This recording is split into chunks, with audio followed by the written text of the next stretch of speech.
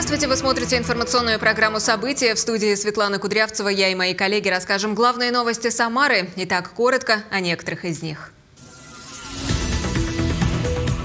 Российские учителя сегодня отмечают профессиональный праздник. Со сцены их поздравили губернатор Дмитрий Азаров и глава Самары Елена Лапушкина. Временно исполняющим обязанности министра культуры Самарской области стала Ирина Калягина. Об этом сообщили в региональном правительстве. Дорожный сезон заканчивается. Активисты и общественники проверили качество выполненных работ. В Самарском районе на одну обновленную территорию стало больше. В рамках областного проекта содействия новыми красками заиграл двор по адресу Некрасовская, 25. В октябре в России вступили в силу измененные правила обязательного страхования гражданской ответственности автовладельцев. Четыре нововведения призваны облегчить жизнь участникам дорожного движения. Одна из самых уважаемых и в то же время трудных профессий в мире отмечают День учителя. Праздник был утвержден по инициативе ЮНЕСКО 5 октября. Именно в этот день, в 1966 году в Париже, была проведена конференция о статусе учителей и подписан первый международный документ, определивший правовой статус работников образования.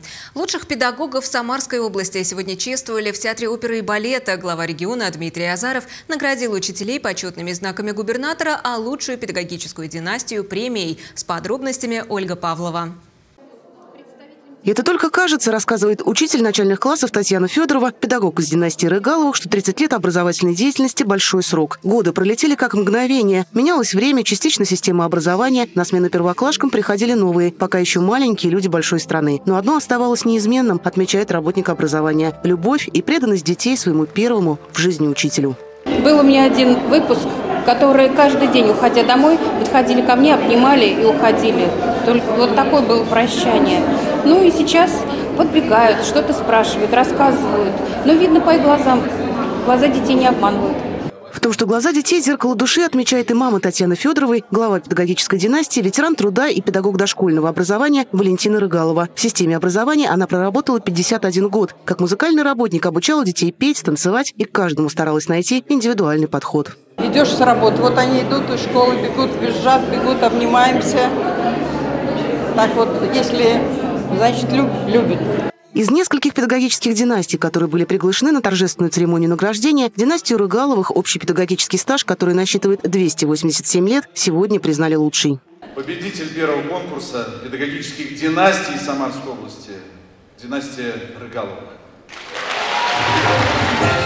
Из рук губернатора Самарской области Дмитрия Азарова династии Рыгаловых вручили диплом победителя и единовременную денежную премию в размере 500 тысяч рублей. Наград в Международный день учителя удостоились и лучшие педагоги региона. В их числе Светлана Карнаухова, учитель русского языка и литературы образовательного центра «Южный город», Ирина Шугаева, учитель истории и обществознания 132-й Самарской школы, Виктория Пистолетова, директор 43-й школы городского округа Самара и многие другие. Губернатор региона поздравил педагогов с заслуженными наградами, особенно отметив профессионализм и стремление вырастить не не только будущих научных деятелей, учителей, медиков, но и самых настоящих защитников нашей Родины. Как же важно, что патриотическое воспитание в Самарской области велось все эти годы, и с каждым годом мы планку все выше и выше поднимаем. Не случайно у нас лидирующие показатели по движению школьников, по юнармии.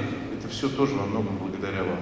Спасибо вам за то, что в каждом ребенке вы видите человека неординарного и талантливого. И дай Бог, чтобы таких учеников, учеников способных, учеников благодарных у вас было как можно больше. С профессиональным праздником со сцены театра оперы и балета педагогов поздравила и народная артистка России Илза Лиепа, вновь представив гала-спектакль «Князь Владимир». Ваш труд необычайный он, наверное, сейчас самый важный, самый важный. Поэтому спасибо вам огромное. И поздравляю вас всех от всей души, от всего сердца. День учителя сегодня празднуют не только в России. Он был учрежден по инициативе ЮНЕСКО 5 октября. Именно тогда, в 1966 году, в Париже была проведена конференция о статусе учителей и подписан первый международный документ, определивший правовой статус работников образования. В этот день принято чествовать преподавателей, благодарить их за труд и вклад в воспитание подрастающего поколения, а также дарить учителям подарки, радовать их цветами и торжественными поздравлениями. Кстати, свои первые презенты педагоги начали получать еще ранним утром, ведь даже в такой важный профессиональный праздник никто не отменял уроки, звонки, классные часы и ответственность перед будущим нашей страны, любимыми учениками. Ольга Павлова, Константин Головин. События. В регионе развивается волонтерский проект «Шьем для наших» движению недели, однако оно обрело популярность. Во время рабочей поездки в Тольятти с волонтерами встретился глава региона Дмитрий Азаров. Он познакомился с участниками проекта – молодыми мамами, студентками, пенсионерками. Женщины шьют термобелье, флисовые кофты, футболки, подшлемники, балаклавы, вяжут теплые носки и шапки. Вся деятельность на добровольных началах. Неравнодушные граждане передают им ткани, расходники и переводят деньги деньги. Губернатор Самарской области сообщил, что проекту будет оказана поддержка. В этом году исполняется 65 лет с тех пор, как в стране появился первый вечный огонь. Его зажгли в 1957 году на Марсовом поле в Санкт-Петербурге, а тогда в Ленинграде. Что означает этот символ и как к нему относятся самарцы, узнали наши корреспонденты. В память о тех, кто погиб в годы Великой Отечественной войны. В этом году исполняется 65 лет со дня появления Вечного огня в нашей стране. Впервые он загорелся в 1957 году на Марсовом поле в Ленинграде. И только спустя 10 лет, в 67-м, его зажгли у Кремлевской стены на могиле неизвестного солдата. Он служит напоминанием о тех, кто не вернулся домой с поля боя. Когда мы говорим о войне вообще, это что-то далеко. Когда мы говорим о конкретном дедушке, о бабушке, да, об отце, да, сестре, то это становится нам ближе, и мы понимаем, что это действительно история про нас, про всех нас, про жителей большой и великой страны. Вечные огни – это символ. А это то, что всегда согревает нас, то, что всегда напоминает нам о важном – то, что дает нам право оставаться людьми. В разных городах России вечный огонь имеет разную форму. В Москве у Кремлевской стены он выполнен в виде пятиконечной звезды. В Санкт-Петербурге имеет форму четырехугольника. Пятигранный в Калининграде, а на Мамаевом кургане он выполнен в виде факела в руке Родины Матери. Но везде он символизирует памятник вечной славе погибших на полях сражений. Это символ памяти о людей, э, о людях, которые отдали свою жизнь за Россию, за страну. Вечный огонь – это символ памяти. Памяти о том, что мы защитили свою родину Великую Отечественную войну. Символ того, что мы победим всегда. Символ единства нашего. Ну, в первую очередь, конечно, память. В каждом регионе страны, в каждом городе есть свой вечный огонь. В этом году Государственная Дума приняла закон о том, чтобы в России все вечные огни работали бесперебойно. Инициатором стал депутат от Самарской области Александр Хинштейн. Михаил Ермоленко, Евгения Усова, Константин Головин. События. Временно исполняющим обязанности министра культуры Самарской области стала Ирина Калягина. Об этом сообщили в региональном правительстве. С 2015 года она была заместителем министра культуры, а также занималась стратегическим планированием и развитием отрасли профильного министерства. Напомню, 30 сентября Татьяна Мрдулеш заявила о своем уходе с поста министра культуры Самарской области.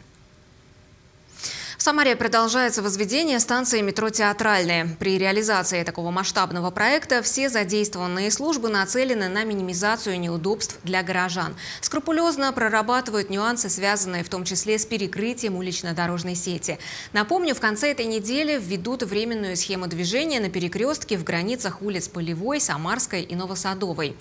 На неопределенный период перекресток перекроют полностью. Мера вынужденная и крайне необходимая, говорят власти. Здесь прежде всего будут переносить все инженерные коммуникации. В частности, работы предусмотрено выполнить на водоводе, ливневой канализации, сетях связи. В дальнейшем на перекрестке будут опускать щит, произведут стыковку тоннелей. Перекресток – один из самых оживленных в городе. Через него пролегают 8 маршрутов общественного транспорта. Большинство льготные, на которых курсируют свыше сотни автобусов. Проработаны схемы их движения с учетом корректировок. Так, в направлении в город автобусы заранее будут поворачивать с улицы Новосадовой направо на улицу Первомайскую и далее объезжать перекрытый участок по улице Молодогвардейской. В обратном направлении из города автобусы будут двигаться по улице Самарской, затем сворачивать на улицу Чкалова, потом по улице Ленинской выезжать на проспект Ленина и далее на улицу Новосадовую, сообщили в городском департаменте транспорта. При этом повышенное внимание уделяется всем улицам, которые будут задействованы для объезда. Схема предусматривает установку дорожных знаков, корректировку светофорных фаз, дополнительное светофорное регулирование на пересечении улиц Новосадовой и Невской. Для удобства горожан и дополнительного информирования разместят аншлаги. Все работы и сейчас, и в перспективе берутся на контроль, включая организацию транспортного сообщения. На первом этапе все-таки этот перекресток полевой Новосадовый, он будет перекрыт полностью. А пока называется рабочая дата 8 октября, то есть ближайшую субботу это уже произойдет, проехать там будет нельзя. И вот по расчетам коллег на все про все, чтобы выполнить, вот сразу зайти на этот перекресток, найти там все коммуникации, выполнить все необходимые работы по их там э, переносу, выносу и так далее, вот, потребуется 39 дней. Предупреждать самарцев о грядущем перекрытии движения начали заранее. Службы города на перекрестке и вблизи дорог устанавливают дополнительные дорожные знаки для водителей и аншлаги для пешеходов. Проезд по перекрестку в границах улиц Полевой, Новосадовой и Самарской будет закрыт на 39 дней. Ранее профильный департамент сообщил, что в период ограничений для общественного транспорта разработали новую схему движения. Так автобусы и маршрутные такси поедут по соседним улицам Молодогвардейской, проспекту Ленина, Волжскому проспекту в объезд объезд закрытого перекрестка. Конечно, для горожан передвижения какие должны быть, более такие свободные. Вот, так что немножко потерпят, я думаю, автомобилист. На метро можно будет немножко освободиться от такого транспорта. Отличного, я имею в виду. И на метро прокатиться. Даже интересно. Я, например, с удовольствием приеду, прокачусь на метро здесь. Я считаю, что это очень нужно, потому что вечером добраться очень тяжело на транспорте. И это немножечко разгрузит. Сезон дорожного ремонта в Самаре движется к финишной прямой. Сейчас идет приемка выполненных работ. Сегодня специалисты профильного учреждения «Дорожное хозяйство» совместно с общественниками проверяли качество асфальта и тротуаров на Волжском проспекте, которые комплексно отремонтировали по нацпроекту «Безопасные и качественные дороги» в течение двух лет. Подробнее в следующем сюжете. Волжский проспект – одна из самых значимых улиц Самары. Она расположилась вдоль Самарской набережной, визитной карточки города. Эту улицу на участке длиной 2,5 километра от Вилоновской до Осипенко комплексно отремонтировали в течение двух лет. Качество работ, которые завершили в этом году, проверяют специалисты МБУ «Дорожное хозяйство» совместно с представителями городской общественной палаты. Мы высказываем мнение от лица, э, в данном случае, общественной палаты, которая представляет интересы горожан. Э, те замечания, которые не в рамках документации, а с точки зрения понимания граждан, как вроде бы должен быть ремонт. На улице в рамках комплексных работ по нацпроекту безопасной качественной дороги полностью заменили асфальтовое покрытие, отремонтировали тротуары, восстановили газоны, нанесли разметку, установили опоры освещения, новые дорожные знаки и пешеходные ограждения для безопасного движения. Для маломобильных граждан и родителей с колясками сделали пандусы у пешеходных переходов, обустроили несколько дополнительных парковочных карманов по просьбам жителей города и остановочный карман для общественного транспорта у склона площади Славы. Это стало удобнее, потому что автобус заезжая в карман, оставляет полосу свободной для движения. И для автомобилистов это удобно, конечно. Работы в основном выполняли ночью, чтобы не создавать помех для движения транспорта. На каждом этапе, от фрезерования старого асфальта до последнего благоустройства улицы, выполнение работ проходило под контролем МБУ «Дорожное хозяйство». На протяжении двух лет э, в круглосуточном режиме осуществлялись работы по контролю за ходом ведения работ. Это и отбор асфальтобетонных смесей э, с завода для контроля качества и соответствия условиям национального проекта и э, к условиям муниципального контракта. Если в ходе проверки будут выявлены замечания, то в рамках гарантийных обязательств подрядчик обязан их устранить. Если повреждения дорожного покрытия или тротуара будут вызваны повреждением на сетях коммуникаций, то их восстанавливать будут специалисты, ответственных за сети ресурсоснабжающих организаций. Андрей Горгуленко, Николай Пифанов. События. Начала октября в России вступили в силу измененные правила обязательного страхования гражданской ответственности автовладельцев. Соответствующее указание Банка России предполагает четыре нововведения, которые призваны облегчить жизнь участникам дорожного движения. Также напомню, что в сентябре этого года был расширен коридор базового тарифа ОСАГО на 26%. Тему продолжит Светлана Тимофеева. Владимир Юзин за рулем больше 20 лет и сейчас зарабатывает этим на жизнь. Правил дорожного движения старается не нарушать, но мелкие происшествия, после которых нужно обратиться в страховую компанию, хотя и очень редко, случались. И это сказалось на стоимости полиса ОСАГО. Когда было там на даче соседа, чуть-чуть зацепил, три года у меня было повышение, потом пошло, пошло и в норму, вошло в норму. Через три года вошло в норму. А так крупных аварий не было, слава богу. Напомню, в сентябре 2022 года коридор базового тарифа ОСАГО для большинства категорий автовладельцев расширен на 26% вверх и вниз. Это сделано для того, чтобы страховщики могли учитывать индивидуальные риски водителей в условиях, когда подорожали запчасти. Для граждан базовая ставка тарифа установлена в диапазоне от полутора до семи с половиной тысяч рублей. Это позволяет сдержать рост цен на полисы для аккуратных автовладельцев. То есть получается, чем а, больше ты соблюдаешь правила, тем а, меньше у тебя а, будет эта базовая ставка. Если ты совершаешь правонарушение постоянно, да, попадаешь в дорожно-транспортное происшествие, то страховать тебя будут по верхней планке этого базового тарифа. Кроме того, с 1 октября вступили в силу новые правила ОСАГО. Соответствующие указания Банка России еще в марте зарегистрировал Минюст. Документ предполагает четыре нововведения, которые касаются автовладельцев и потерпевших в ДТП. В частности, теперь страховые компании могут узнавать об изменении номера машины без участия автомобилиста. Также по новым правилам владелец полиса при продаже своего авто обязан письменно уведомить об этом свою страховую компанию. Раньше это делалось добровольно. Еще одно нововведение изменения. В извещении ДТП теперь не обязательно указывать данные очевидцев. Четвертое изменение обязывает страховщиков ознакомить потерпевшего в дорожном происшествии с результатами независимой технической экспертизы или оценки автомобиля. Ранее это делалось только по подаче им заявления. В целом, новые правила ОСАГО призваны облегчить жизнь участникам дорожного движения. Светлана Тимофеева, Константин Головин. События. QR-код вместо водительских прав. С этого месяца в России автомобилисты могут использовать электронные документы. Права, свидетельства на машину и другие. Новый электронный сервис протестируют в приложении «Госуслуги». Начинает работать в тестовом режиме э, приложение «Госуслуги авто».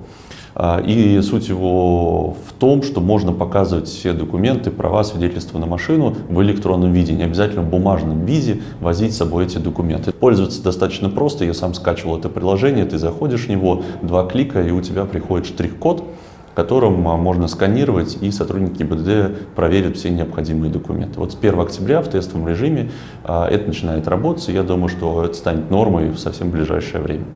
Далее коротко о других темах этого дня. Самарской области при столкновении двух легковых автомобилей пострадал четырехлетний ребенок. Об этом сообщили в ГУМВД по региону. В Комсомольском районе Тольятти 37-летний водитель за рулем Ситроена двигался по улице Гидротехнической в направлении улицы Шлюзовой. Напротив дома номер 28Б на регулируемом перекрестке при повороте налево он не уступил дорогу иномарке под управлением 43-летнего мужчины, который ехал в прямом встречном направлении на разрешающий сигнал светофора. Машины столкнулись. В больницу были доставлены водитель иномарки и четырехлетний пассажир виновника аварии. Сызрани 42-летний водитель ВАЗ-11-183 напротив дома номер 18 по улице Рабочей не справился с управлением, выехал на полосу, предназначенную для встречного движения, где совершил столкновение с Лада Гранта под управлением 43-летнего водителя, который двигался по своей полосе во встречном направлении. В медицинское учреждение госпитализированы водитель автомобиля ВАЗ и 19-летняя пассажирка Лады Гранты, сообщает Главное управление МВД по Самарской области. Около 10 вечера во вторник в экстренные службы поступила информация о пожаре на улице Некрасовской в Самаре. Сообщает ГУМЧС России по Самарской области. На тушение пожара было направлено 32 пожарных личного состава и 8 пожарных машин. Прибывшие на вызов пожарные установили, что горит кровля трехэтажного жилого дома номер 48. Из дома было эвакуировано 25 человек. Пожару был присвоен ранг 1 БИС. Через 40 минут пожар был локализован, а в 22.44 полностью потушен. Ситуация на рынке труда в Самарской области стабильна. Об этом сообщают представители крупнейшей российской рекрутинговой платформы. В целом количество активных вакансий и резюме в Самарской области на протяжении последних двух недель держится примерно на одном уровне. В недельном сравнении наиболее ощутимый спад демонстрирует индустрия красоты и фитнеса, бухгалтерия, научно-образовательная, банковская и туристическая сферы. Зато наблюдается рост спроса на сотрудников транспортно-логистической сферы, рабочих, работников сферы искусств, развлечений, масс-медиа. На восьмом месте Самара попала в десятку самых густонаселенных городов России. Несмотря на то, что в России происходит снижение численности населения, и это коснулось в том числе и столицы региона, по последним данным, в областной столице проживает 1 миллион 736 тысяч 721 человек. В Самарском районе на одну обновленную территорию стало больше. В рамках областного проекта содействия новыми красками заиграл двор по адресу Некрасовская, 25. Там появились детская и спортивная площадки. Эмоции жителей выслушала Елена Чернявская. Содействие в действии. Еще одной новой детской и спортивной площадкой стало больше в Самарском районе Самары. Теперь здесь есть все для веселого времяпровождения детей. Антитравматическое покрытие соответствует всем нормам безопасности. А для комфортного отдыха здесь разместили скамейки, урны и ограждения. В итоге площадка получилась яркая, живая, интересная. Самое главное – это желание. Если даже э, жители придут к нам э, в отдел ЖКХ, либо обратятся к управляющим микрорайоном с этой идеей и хотя бы э, первоначально на листочке нарисуют карандашиком, что они хотят э, получить в своем дворе, дальше уже э, будем совместно разрабатывать, реализовывать и придем к финишу вот, вот к такому красивому двору. Самое главное – это желание жителей.